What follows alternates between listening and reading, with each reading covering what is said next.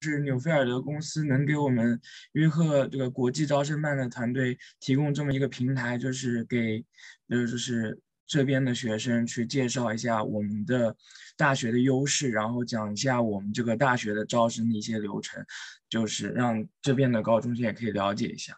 对，然后的话，我的。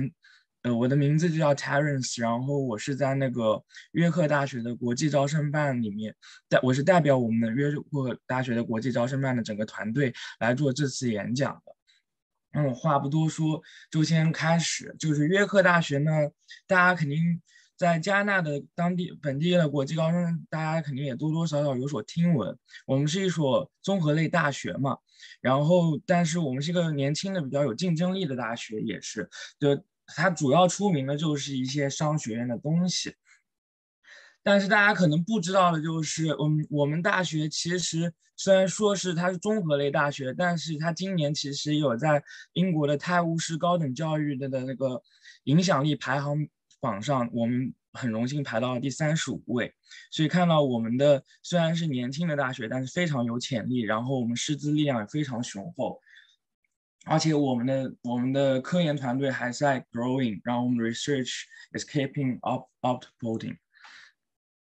对，所以这边大家也会看到，我们在 QS 排名里面，它有一项排名就是 research output，我们的 ranked 就是在二零二一年的时候是属于基本上是属于 top fifteen in the world，yeah，and also 呃。 大家也知道，这次疫情嘛，就是给全球带来了很多的影响。然后我们约克大学，其实在加拿大的这个国家里面，我们约克大学也做了很大的贡献。比如说我们在疫情上面的分布，我们在那个数学建模上，我们是给加拿大做了很多贡献的。我们有几个科研人员，他是在这个呃 Civil 的那个。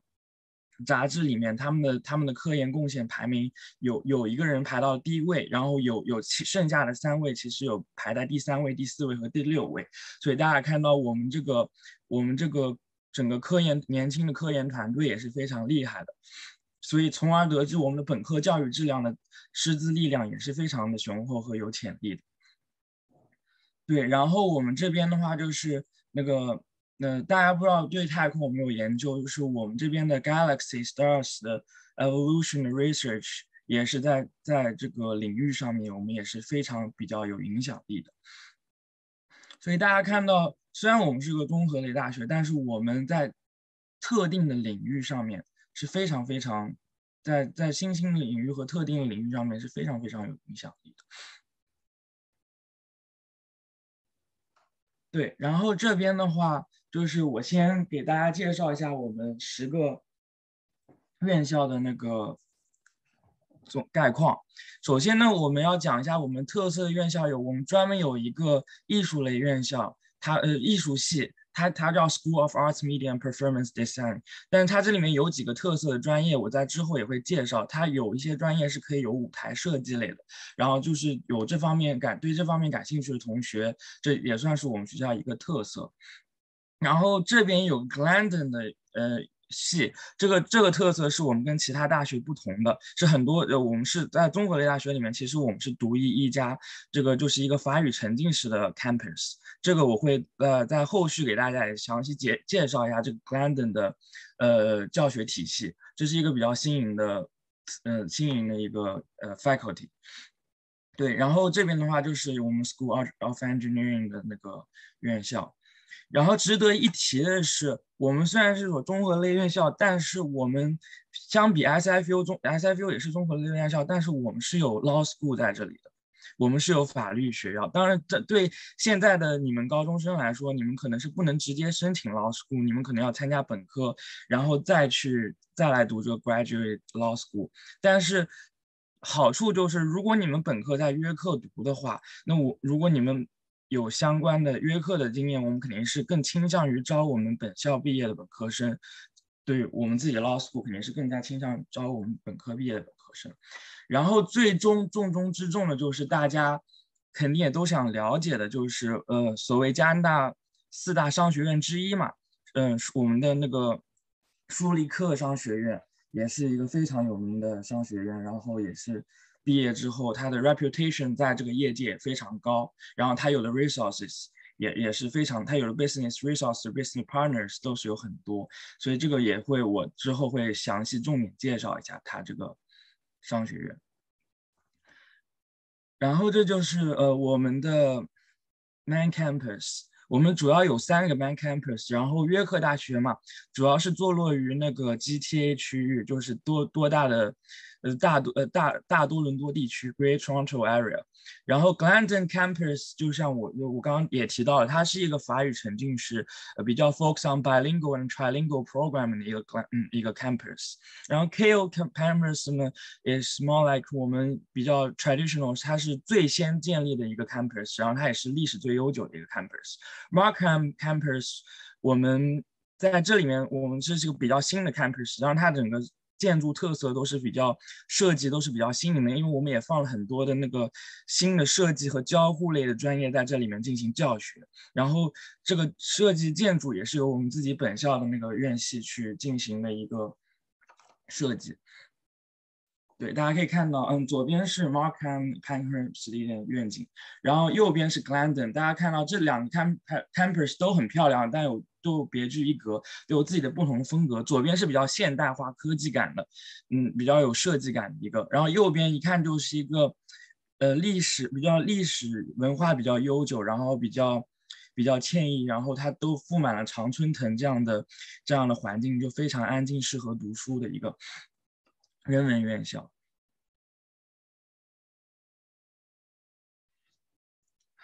对，然后就是 Glendon Campus。我会给大家着重介绍一下 Glendon Campus 呢，它就是一个法语沉浸式的教学。然后大家会很好奇，那什么是法语沉浸式呢？就基本上就是说，我们在 Glendon Campus 里面，我们的图书馆，我们的所有的那标识，它都是会用英文跟嗯。法语和标识出来，然后这里面的所有的课，比如说你是一个 biology 的学生，在 biology 选一些专业课的时候，你是可以选择进行法语教学，也是可以进行选择英语教学。但在在教学的内容的嗯那个 PPT 里面，老师在进行教学的时候，虽然他有，比如说你选了英语主主语言的教学，但是他在 PPT 里面他也会把一些相关的知识点用英文跟法文同时标注出来。所以这就是我们 Glendon Campus 嗯。一个 bilingual 的一个 programming 的优势，然后具体的语言要求会在后面提到。然后大家也刚刚看了它的环境 g l e n Campus 是一个它的建筑也是非常有历史悠久文化，然后它的环境也非常好，绿化也非常好。这是一个我我还是蛮比较倾向去，如果在能在 g l e n Campus 学习，真的是非常非常安静，然后非常非常有学习氛围的一个一个 campus。对，然后这边我还要除了 Glennon Campus 的双语教学模式之外呢，我这边还要提到一个我们这边比较有特色的一个模式，一个 program 叫呃 IBA，它其实 IBA 只是其中之一，任何带 I 开头的，比如说 IBSC。它都是叫 International Bachelor。什么是 International Bachelor 呢？就是我任何如果你们在座的有幸能申请到这些 program，你们进到这个 program 里面之后，你们在这四年的读书里面是不仅仅就是 focus on 你们在加拿大的学习教育经历，你们还会有很多 opportunities，然后去。做一些 exchange，跟不同国家做 exchange，可能有些人会说说其他大学也有 exchange，但这边我们的 exchange program 和我们的一些就是海外的一些呃 project 签的合约，我们会比其他的学校质量更好，然后机会更多。所以如果你如果您您您比如说想要回国。呃，工作，e either 或者说你想要在政府像这种 international education experience 是非常非常非常就是可以 consider as an asset。对，所以这个也是我们一个比较有特色的专业。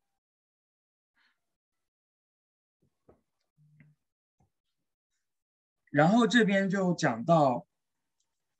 呃，我大家都最感兴趣的那个舒立克商学院，大家也看到在。无论是福布斯还是经济学人，我们我们在加拿大的商学院，在这个杂志里面，我们加拿大商学院它都是排名第一的，所以也就看到我们的舒立克的实力是非常雄厚，这个也不用多说，对吧？大家也都知道，所以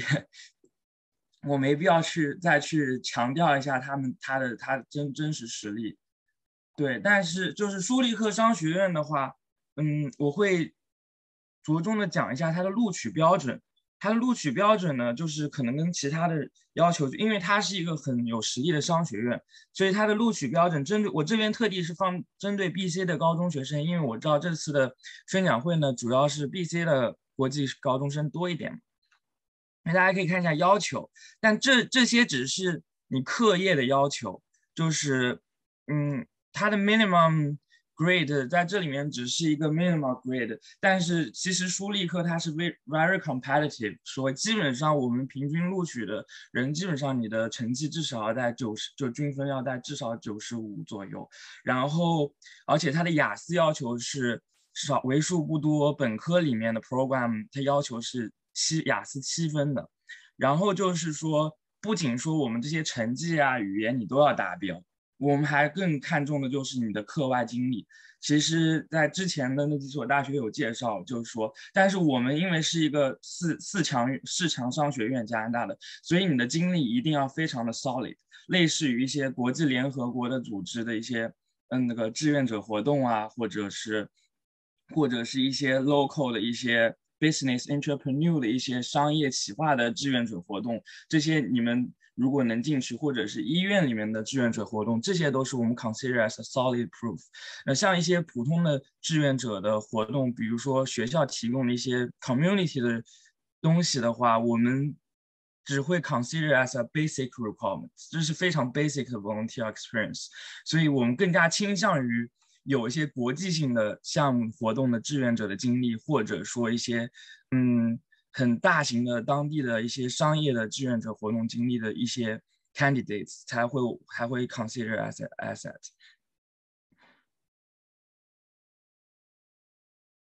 对，这边我会特地标出来，就是针对针对那个舒立克商学院的语言成绩，我为什么要特地标？就是我提到的这边雅思我们一定要是有七分，然后什么情况下能？免去雅思的成绩呢？那就是你有 four years study in Canada English，而且就是这个要求其实跟大部分的院校也差不多，就是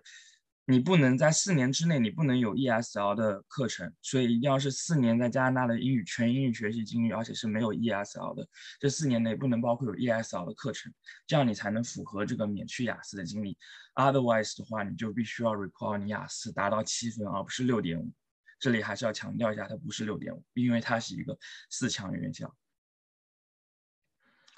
然后舒立克的话，嗯，there is extra details you shall know about this，就是什么呢？就是很多院校可能大家都觉得我会曲线救国，类似于说，哎，我可能上不了大学。我会去 college，然后我可以 take a university transfer program，然后去转到之后再转到嗯呃约克大学的商学院。那这边我可以告诉你，就是我们舒立克商学院只仅仅仅舒立克商学院，我们是不接受校外转校的。类似于如果你是在约克里面转，它是可以，但是我们不接受嗯校外的一些 credit transfer 到那个舒立克商学院。所以如果大家能在高中毕业的时候直接升进嗯舒立克商学院，这是最好的 op 呃选择，或 either way 就是先进到我们其他本科的 program，然后再 transfer 到那个进行校内转，这是舒立克商学的一些特呃一些 actual details you shall know。对，然后这边我会给出一些专业的一些。呃，录取平均分的一些要求和一些课程的要求，这也是大家比较 concern 的嘛。就是很多人会说，哎，我要申请你这个专业，嗯，就是申请你们学校，我们学校这个专业它需要什么什么什么。然后这边就需要知道，就是 BC 省的大学可能是针对于工程的，他们可能是不需要那个 calculus，但是我们这边是呃。虽然他这边写的 calculus twelve recommended，但是我们这边很多 candidates，几乎所有的 candidates 都会有 calculus twelve 成绩，either AP or not AP，both acceptable。所以这边的话会说，我们要英语学校是必须的嘛，然后化学 all physics twelve 可以选一门，对，然后但是这边的话，我就要提醒大家，就是你们要是想申请约克大学的呃工程类，一定是我 recommend take the calculus twelve。然后成绩的话，我们这边官网上写的是 low to mid eighties，但是，呃，实际情况看来的话，我们的工科类也是在均分在九十五分，也就是基本上跟，嗯，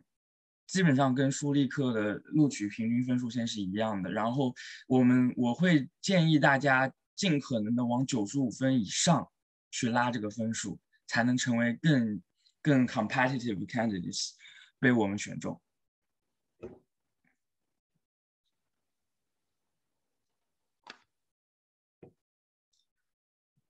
嗯，然后这边的话，喂，后了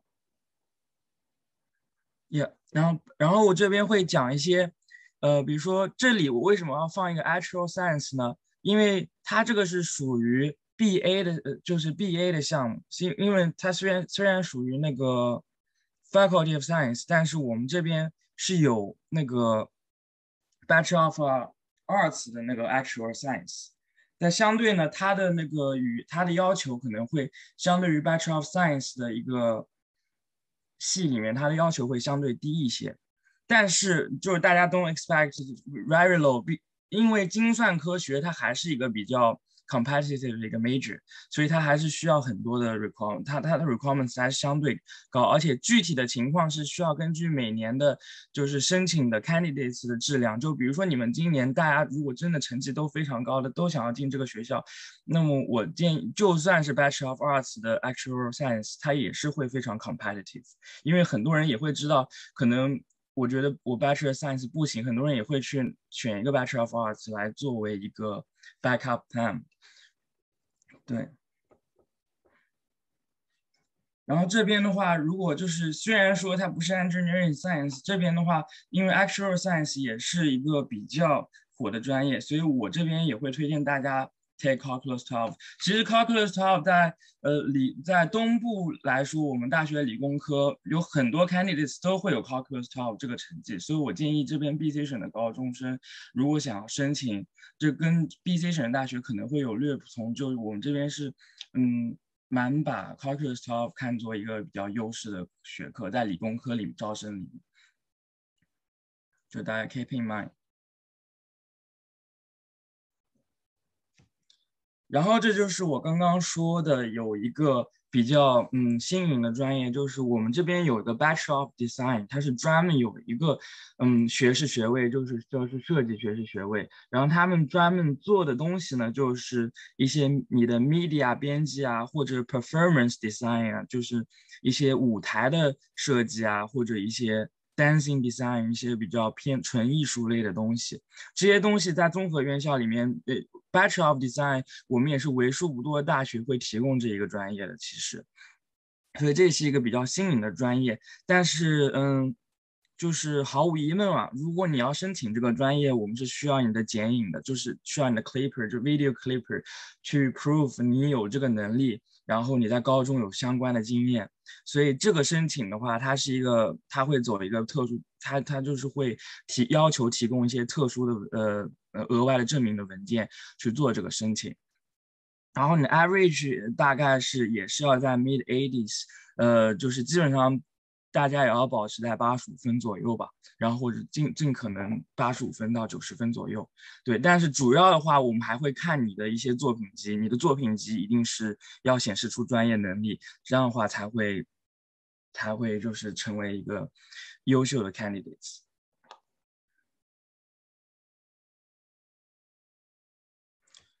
对，然后这边我会给到一个我们。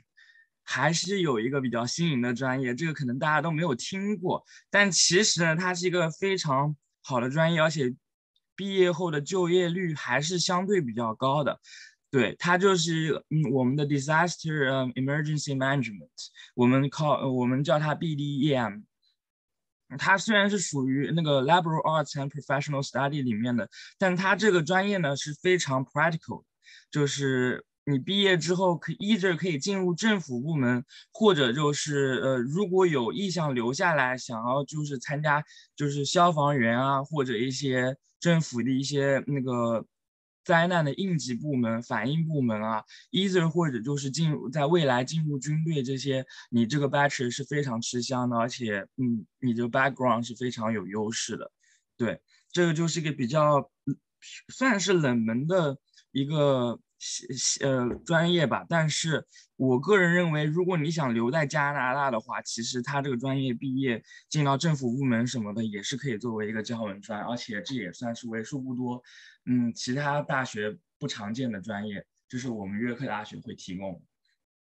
对，而且它的成绩录取要求也是相对的会比较低一点，因为毕竟它冷门嘛，所以它的申请的人，嗯，不会特别的多，就不不是特别的多，它就不会导致就是水涨船高的分数线。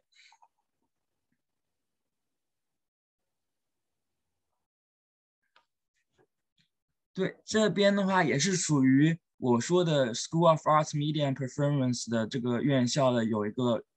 比较特色的专业，就是 Film Production。很多 Film Production 其实在 College 有，但是我们这边会提供一个 Bachelor of Film Arts，嗯，这个这么一个学士本科的学士学位。然后这个的话，也就是说你本科拿到之后，你这四年主要做的研究就是做电影行业。大家也知道加拿大嘛，就是很多其实加拿大的电影产业。也是属于加拿大的一个支柱产业之一，特别是东部。我们在东部的情况下，我们跟很多美国的纽约就是非常接近，所以我们我们这边有很多机会去。参与到一些很真实的 project 里面，所以我们这个约克大学的 film production 也是非常有实力。然后你这四年你要你参你选的课，你参加 projects 也都是非常非常 practical 的，就是可能你有幸会参与一些真实的一些比较大制作，这也这也不是不不可能。对，所以我觉得这个 film production 这个专业也是，就是有兴趣的同学一定得考虑我们院校，因为我们的资源真的非常的好。对，但是有一点就是，高中你高中的时候一定要有相关的作品集，对，这个就是它的唯一一点。所以，就如果想要报考这样专业的学生，一定要在高中选相关类似的嗯课程。一则就是一定要最好，我最好建议是大家还是选相关课程。如果没有的话，一定是要课外去找专门做那种做视频的，或者自己有拍出一些小视频和一些。嗯，电影的一些作品，而且一定要我们我们要求还是非常高的。对，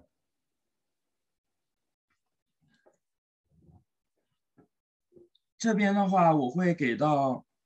大家一个就是语言的 general requirements，就是大家看到我们可以呃，托福、雅思不用说嘛，我们这是都是接受的。然后雅思，嗯，在一般的 program 里面，一般的专业里面，我们接受 general 六点五，然后单项不低于六嘛。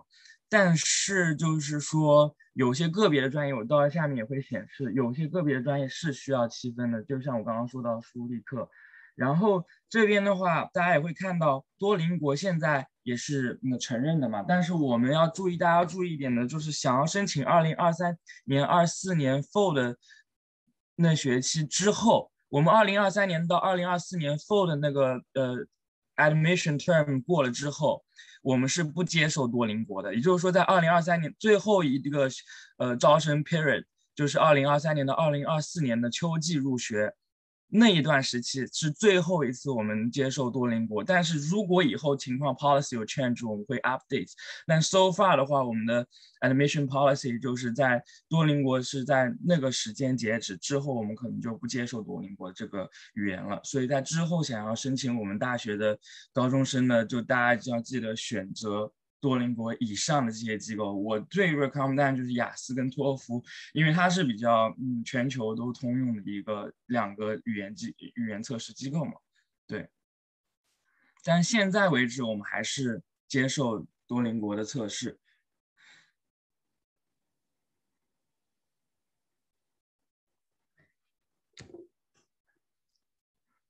对，然后这边的话我会给出一些。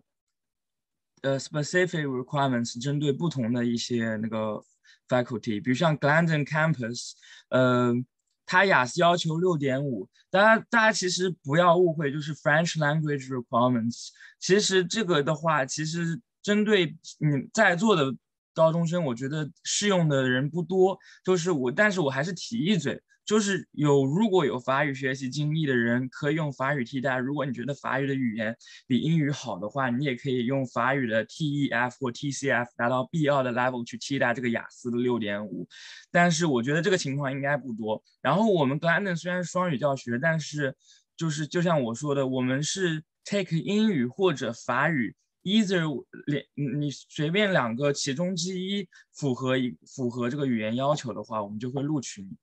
但是就是只是说我们 Glendon 在里面，你在未来四年学习中你是有很大的机会去接触这个法语的教学，仅此而已。所以说你们如果没有法语成绩，但是你觉得未来你想要成为一个就是法语跟英语的双语者，因为加拿大的政府行业啊或者很多大企业，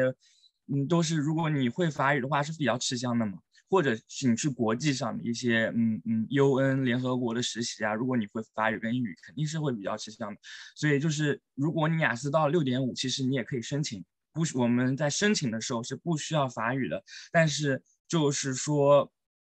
那在学习的，在未来的学习中，你是有很多机会去接触这个法语的文化和法语的这个沉浸式的环境。就就是这样，然后这这边要提到一嘴的就是，因为大家也在排名的我们的 price 排名里面看到，我们的 nursing 专业也是一个比较比较雄实力比较雄厚的一个专业嘛，因为我们的排我们科研排名也是比较高的，所以我们在 nursing 这个专业里面呢，而且 nursing 其实大家知道，护士在加拿大，它是一个它它它的角色在医院的角色，其实很多情况下它 play 了很多医生我我们所认知中中国医生。Play 的角色，就比如说开药啊什么的，如果你成为 registered nurse 都是会的。所以顾名思义，我们这边雅思的语言的要求是会相对于其他的专业也会高一点。我们这边也是要求七分的，所以大家一定要记住，约克大学，我们约克大学舒立克商学院护士专业的语言雅思都是要七分，而不是六点。所以如果你要申请，你一定要记住这一点，不要说哦，我雅思。就是六点五就想申请，然后你到时候申请的时候发现你没有到这个语言成绩。我们碰到过很多 例子，有些人学术成绩很好，然后可以进到这个专业，结果就是因为他误以为雅思是六点五，所以就就就就就是是就是失之交臂了嘛。对吧？有很多人都知道商学院，我们商学院是七分，因为 very well known，但很多人确实不知道这个 nursing 这个点。然后还有多邻国的话，就是如果你要考多邻国，就不是一百一十五分。对。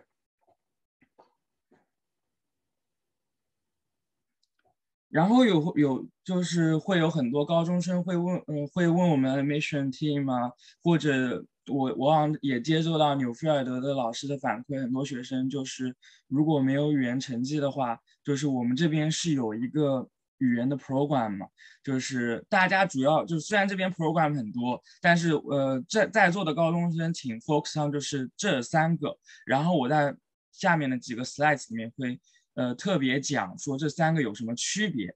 就是会针对你不同的语言的 level，我们会推荐这三个不同的 program。就是我们先讲一下，就是我们这边有个 academic 呃 academic 语言的一些 level，我们从 AP 一到 AP 五，它就是一个 foundation。这是为什么我说不让大家看的原因，因为一般高中生毕业基本上都会有 AP 五或以上的语言，所以这边就大家了解一下就好。我后面有个很详细的图，可以给给在座的高中生讲一下，就是你们适用于哪个？对。这边的话，就是大家做个 reference，就是 AP 一到 AP 五，它是 foundation。然后这边有个 program 叫 U Bridge，它就是从 AP 六到 AP 九开始的。然后这边的话，predestination 是从 AP 七开始，然后 destination York program 是从 AP 八开始。这就是一个不同开始阶段的一些人。有些人说，哎，那为什么我要？参加这个就是为什么我到这边了之后，这边不是重复了吗？我我我在后续会给大家讲解一下这个语言的成绩。对，这边就会有，大家会看到，就是我拿雅思举例吧。大家不妨说，你们高中毕业了之后，比如说我我我雅思有个五分，但是我没有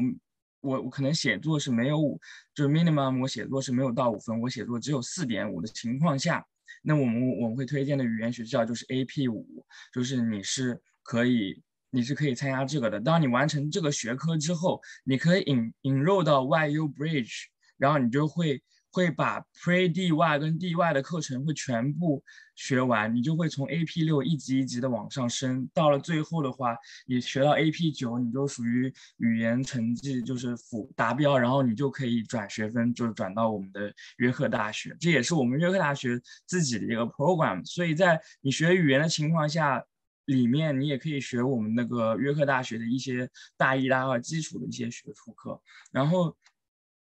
这边的话就是说，那如果有这个 program，为什么还要这两个？那么有些人可能他已经到了五点五，或者有些人到了六，但是你会发现有些 program 你到六是不够的，even 有些 program 你到六点五它也是不够的嘛。所以就是说，如果有些人，比如说我雅思有个六了，然后你非常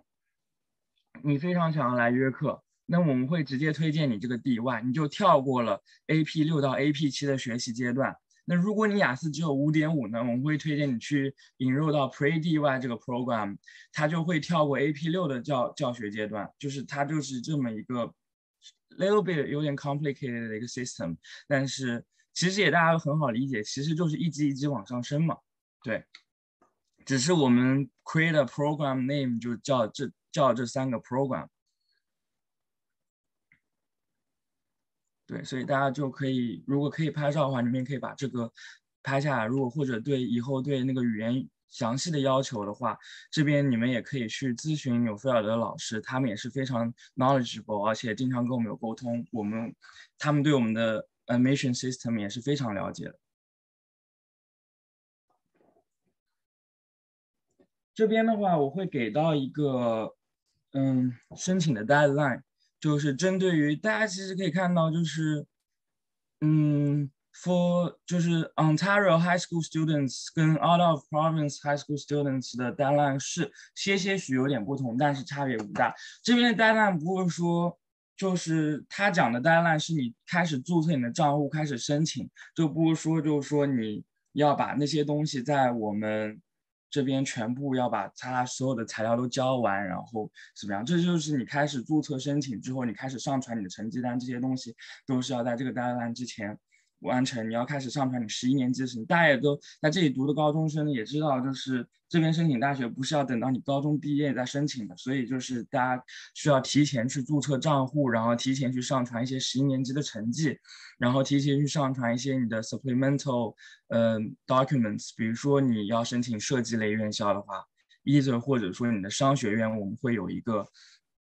面试的一个 video clip 的话，你就需要提前去做。这些这样的准备，所以这个就是 fall term 的那些 deadline，然后这是 winter term，对，大家可以看一眼。